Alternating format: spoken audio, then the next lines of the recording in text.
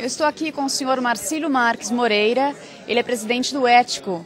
Embaixador, eu gostaria que o senhor me dissesse qual que é a relação entre o tema abordado aqui hoje e o Instituto Brasileiro de Ética Concorrencial.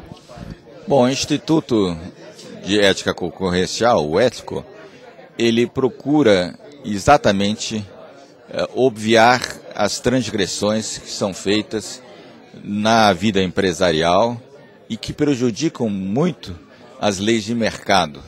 E para isso é indispensável uma boa correlação entre mercado, entre Estado e uma boa, boa compreensão do porquê é, há no Brasil uma leniência pela transgressão e quais são os caminhos possíveis para ultrapassar essa situação que hoje em dia comove toda a população e que está muito em dia, digamos assim. É um tema muito oportuno, muito importante, de modo que estudar um pouco mais a fundo ah, o que leva a essa leniência, essa conivência com a transgressão no Brasil é muito importante para se poder adotar políticas públicas para tentar minimizar esse problema e também atitudes empresariais no mesmo sentido.